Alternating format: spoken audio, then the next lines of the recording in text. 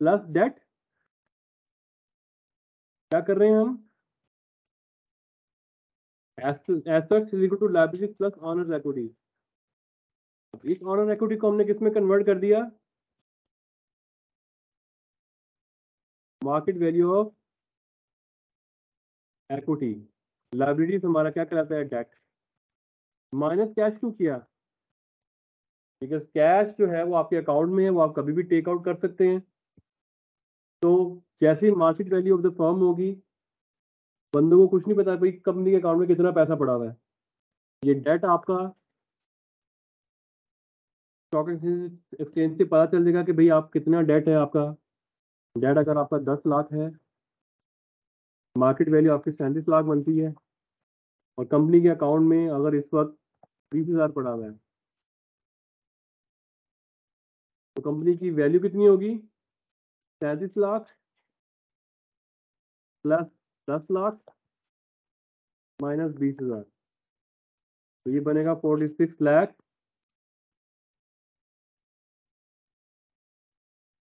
बीस हज़ार है तो forty six lakh and eighty thousand ये आपकी मार्केट वैल्यू बन जाएगी। तो guys are you with me ये सिर्फ़ कुछ भी नहीं है। ये बैलेंस शीट की इक्वेशन है। Assets is equal to liabilities plus owners equity yes sir इसे बोलेंगे कंपनी की वैल्यू तो कंपनी की वैल्यू ऑफ़ द एसेट्स इनकी मार्केट वैल्यू ऑफ़ एसेट्स कितनी हो जाएगी? लाइबिलिटीज को हमने डेट कह दिया। ऑनर इक्विटी को हमने क्या कह दिया? मार्केट वैल्यू ऑफ़ इक्विटी कह दिया। और क्या की से लेस कर दिया तो हमारी क्या वैल्यू आ गई? Value of the firm market value of the firm या फिर एंटरप्राइज वैल्यू राइट ओके अब तक जो क्वेश्चन है मुझे बताएँ। Any question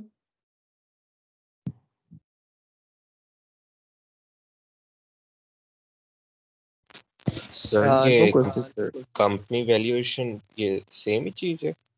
Company enterprise value exactly enterprise value कह लो या market value of the firm कह लो it's one of the same thing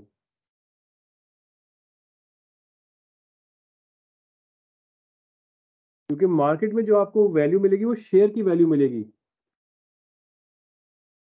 right एक शेयर की वैल्यू कितनी है? और कंपनी में कंपनी किससे बनती है? आउटसाइडर प्लस इनसाइडर दोनों के फंड से। जो स्टॉक एक्सचेंज में आपको पता चल रहा है, वो क्या पता चल रहा है? इनसाइडर की कितनी वैल्यू है? ऑनर्स की कितनी वैल्यू है? शेयर प्राइस कितनी है? और कंपनी के अंदर तो डेट भी आता है, इनकी लाइबिलिटीज प्लस ऑनर्स इक्विटी आता है।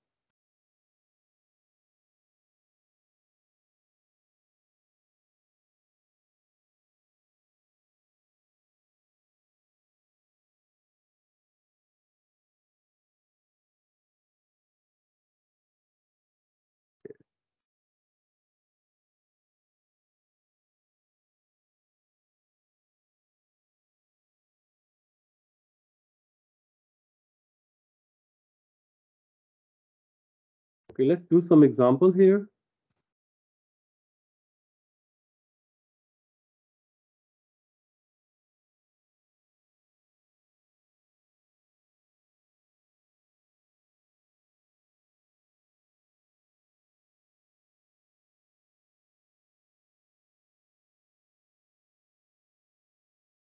Guys, can you hear me? Yes, sir. Yes, sir, we Okay. can hear you. मुझे एकदम से यहाँ पॉपअप मैसेज आया कि जैसे माय कॉल इज़ ड्रॉप्ड मैं ये देख रहा हूँ कि मेरे पास सारे नज़र आ रहे हैं मुझे और मेरी कॉल ड्रॉप कैसे हो गई टीम्स थोड़ा सा बाज़ औक़ात ना तंग करते हैं बल्कि आजकल कर रहे हैं ज़्यादा तंग कर रहे हैं okay Let's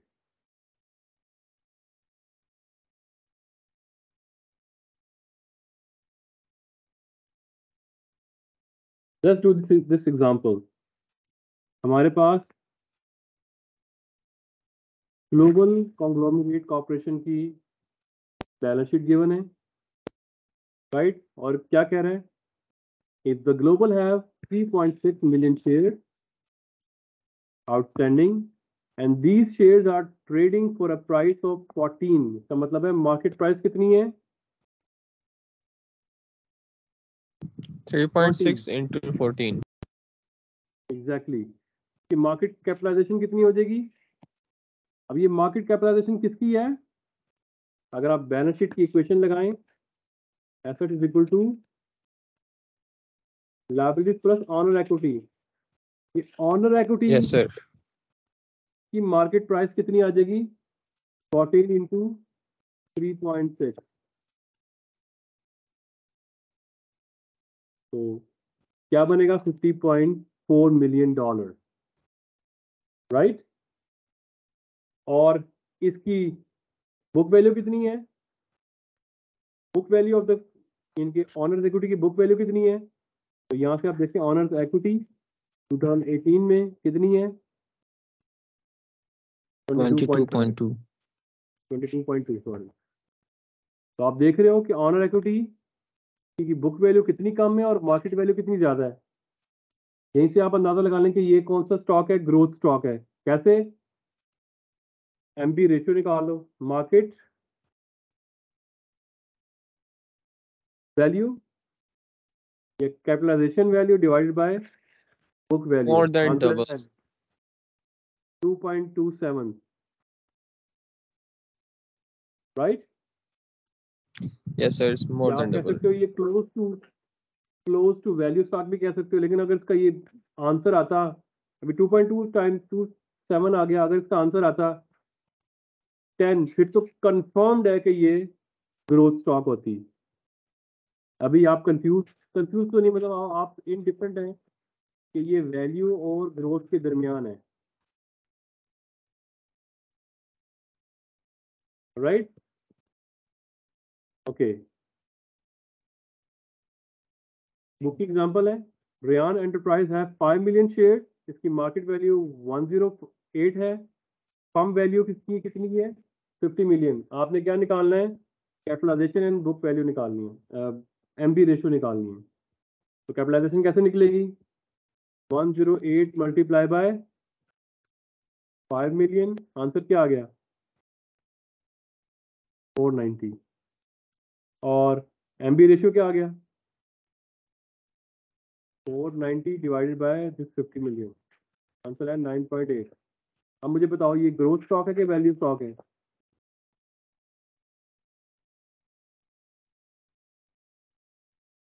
इसकी सर ये 90 कैसे आया? ये तो 540 नहीं आना चाहिए। 108 multiply by 5 540 sorry sorry about that I think फिर यहाँ पे गलती हुई है this is 98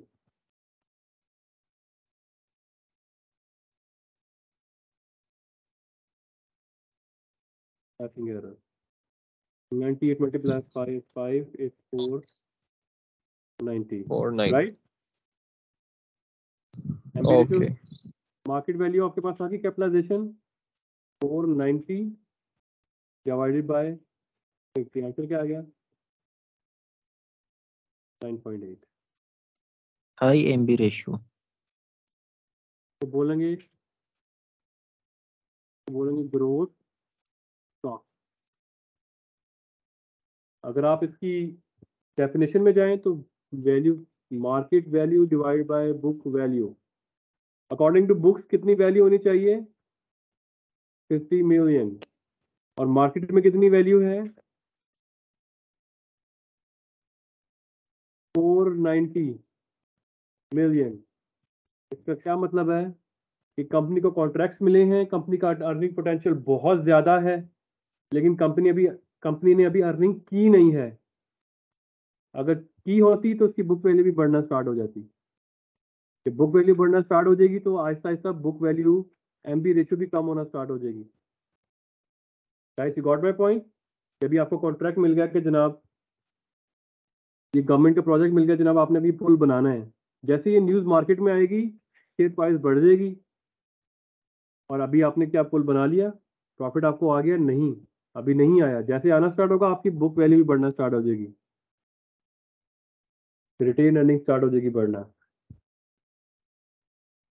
ओके तो ये 98 है सॉरी 108 नहीं है. I would I think I should right now take action अभी से इसको मैं चेंज कर लूँ रादर देन फिर मैं भूल जाऊँ. 98 98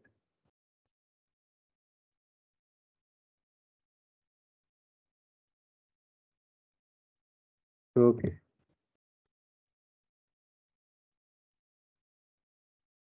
Still saving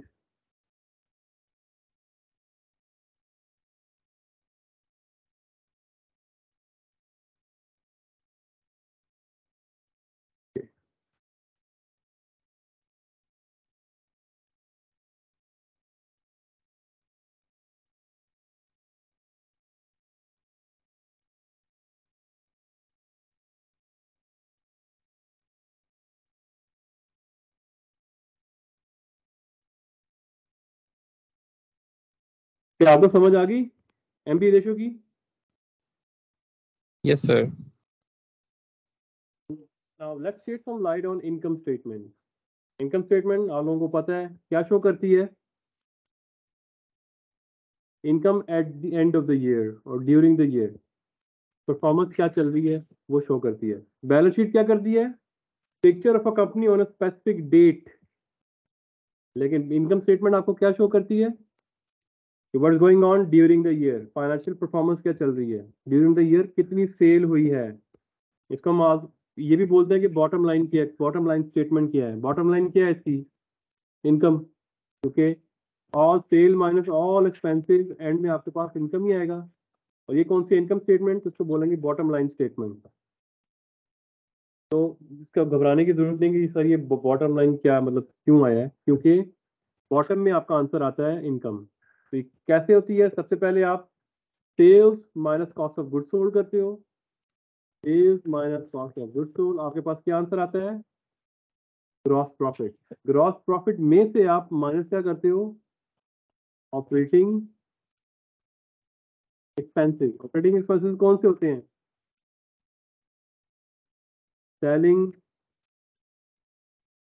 admin and general expenses right जब ये आप लेस करते हो तो आपके ऊपर क्या आता है? Operating income